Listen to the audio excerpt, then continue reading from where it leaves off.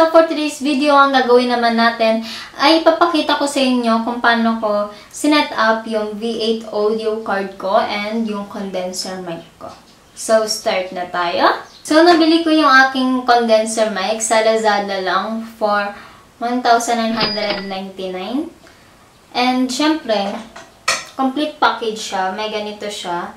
Tapos, mic din yung stand niya na dekabit lang. Hindi ko lang siya kinakabit kasi hindi ko marinig yung sarili ko. Tsaka, kapag meron to parang ang hina ng mic. Kaya, hindi ko siya kinakabit. Then, next natin is yung audio card ko. Ayan siya. Nabili ko siya sa Lazada also for 649 ata siya or something.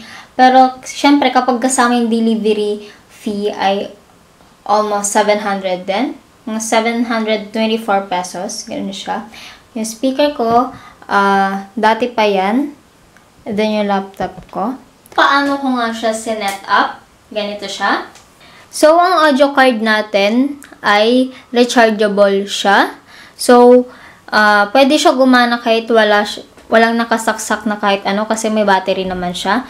Then, tatlo ang kanyang wire dalawa para sa phone, laptop, or camera. Then, isa para sa kanyang uh, charger.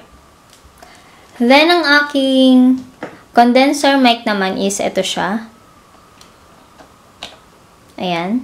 Ayan yung pinaka outlet ng condenser mic ko. Then, ito na yung speaker ko. Ayan, nakasaksak pa. Dahil, may nakalagay dito. Ito yung live 1 and live 2. Diyan yung isasaksak yung uh, laptop nyo, cellphone, or camera, or something. Tapos, kung may uh, kung may saksakan din naman yung gitara nyo, pero yung sa akin kasi wala, ayan siya, dyan yung siya isasaksak. Then, charging kapag lobat na, of course. Then, earphone or speaker, pwede din, pero pwede din dito yung earphone, gumagana rin siya. Then, yung condenser mic at yung, uh, yung mga mic talaga, yung dynamic mic natin, yung para sa pang video ko, ayan, pwede dyan. Natry ko na rin yon Tapos, isasaksak lang natin yung condenser mic natin dito. Then, yung mic natin sa ating speaker, dito siya. Ayan. Then, Uh, ang pag-open nito is yung dito siya. Pag-open dito. Long press siya for about 3 seconds. Ayan. Kapag ganyan na siya, blue, red, blue, red, ayun na yung uh, part na pwede na siya, pwede na siya gamitin. So, we try natin. Ayan. So, ayan, gumagana yung condenser mic natin na nakasaksak sa ating V8 audio card and the speaker. At try natin lagyan ng echo. Ayan. Ayan. Ayan. Kapag minaximize natin yung ating echo, ayan, super echo na talaga. Ganun siya. At pwede natin tanggalin. Which is yun yung ginagamit ko tuwing mag-tutorial ako. Walang echo para mas okay. Then, meron dito nakalagay treble, bass, record music, and uh, monitor. Yun. Depende na sa inyo kung paano nyo gagamitin yon. Pero ako, uh, konti lang yung treble ko. Tapos yung music and record ko, naka-maximize siya. Tapos yung monitor ko din ay nasa gitna lang. Ganon siya. Then, meron tayong ditong iba't ibang keys which is my Electro, Pitch Bend, Magic, Shockwave, MC, and Dodge. So, try natin Electro. A major. Ayan, gumaganon siya. Ayan. Yung para tayong robot na may kasamang iba. Ganyan yung magiging ating bosses. Then, next natin is yung Pitch Bend. Ayan. Ano, ang cute ng ating bosses dyan para tayong bata. So, next natin is yung Magic. Dito naman, mukha tayong malaking tao kasi sobrang laki ng boses natin. Then next natin is yung shockwave. Hello? Ayan, wala lang. Shockwave lang siya. Siguro, hindi ko alam kung para saan yung shockwave. Hello? MC? Ayan yung sa MC natin, parang mas kulob yung magiging bosses natin. Yung parang nasa conference room tayo. Then next natin is yung Dodge. Hello? Hello? Parang paras lang sila ng MC, ano? Then, after nun, meron tayong 1, 2, 3, 4, 5, 6, 7, 8, 9, 10, 11, 12, which is, uh, parang ano siya, sound effects. So, try natin. Cheer. Go, go, go. Try natin. Yung embarrass. Kapag napaka-corny ng ginagawa niya. Then next natin, ay. Then next natin is yung gun. Yun. Then, next is the spice. so, next that is debut. I like it, I love it, I want some more of it. So, next one is kiss. And then love. Then clap. Then pay attention. Then, bali dalawa yung pindutan ng kiss natin dito. Ayan, parang magkaiba naman sila. So, yung songs, and may songs tayo dito, 1 and 2. Dile, dile, dile, dile, all of it, girl. Mile, mile, mile, mile, me bye. The next natin is yung song 2.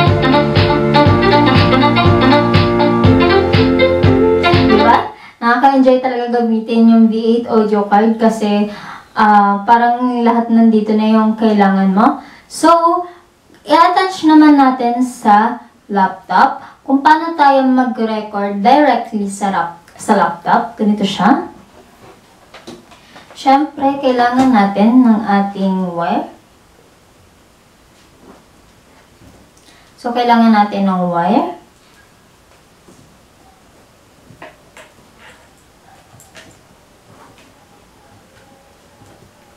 So, ganitong wire yung gagamitin natin.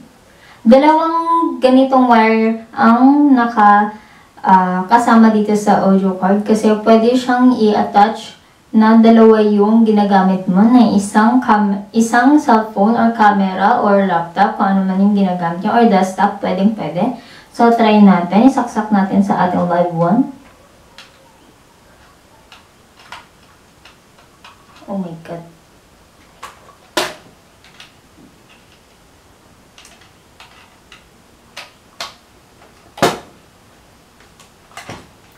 So, saksak natin sa ating live one. Yun. Nakasaksak na ating laptop sa ating live one. I-try natin mag-YouTube.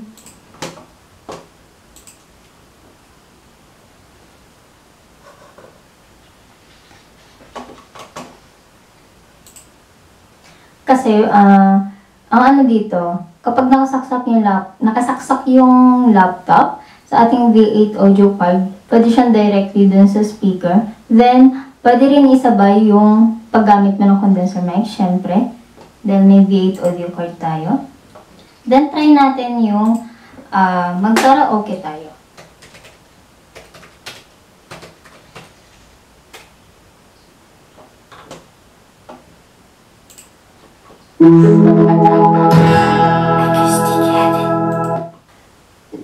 So, gumana na ang ating laptop na nakakonect sa ating V8 audio card.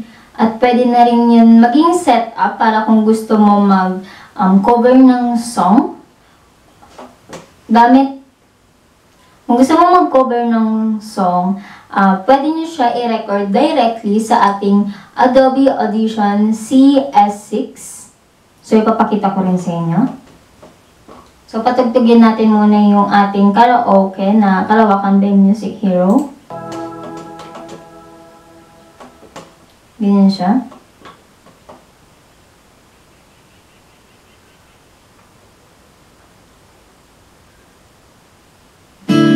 Ayan.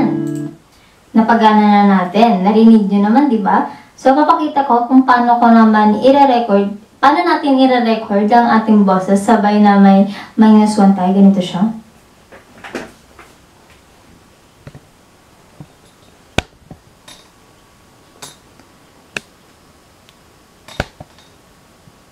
So, ayan, nakakonekta na yung ating ah, laptop. Ayan. Ating laptop sa ating V8 audio card. Then, speaker, then condenser mic na to. Then, ayan. May kita natin na nakakonekta na tayo sa ating ah, YouTube para pwede tayo mag-record ng ating kanta. So, ano tayo sa ating V8 audio card?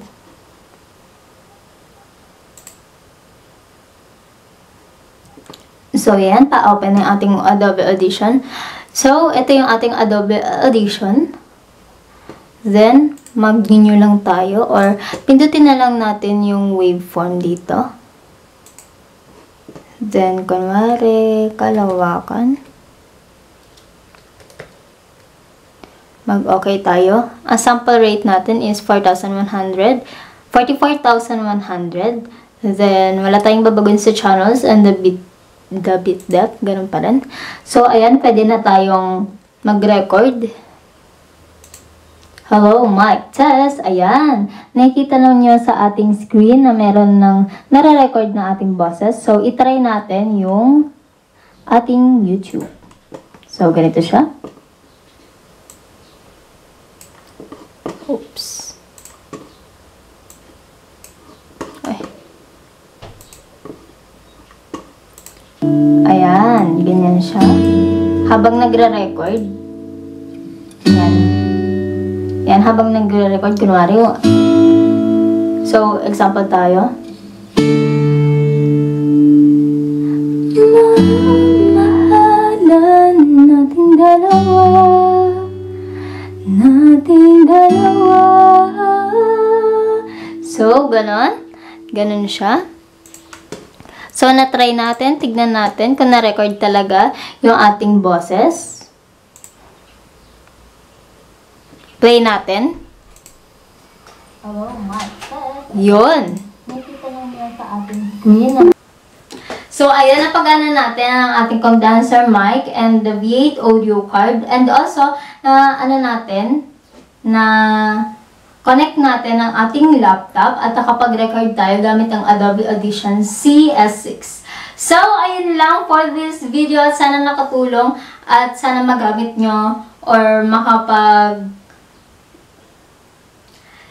So, sana nakatulong sa inyo kasi ito na yung simple setup ng at aking studio. Ngayon lang ako nakapag uh, set up talaga ng sarili ko.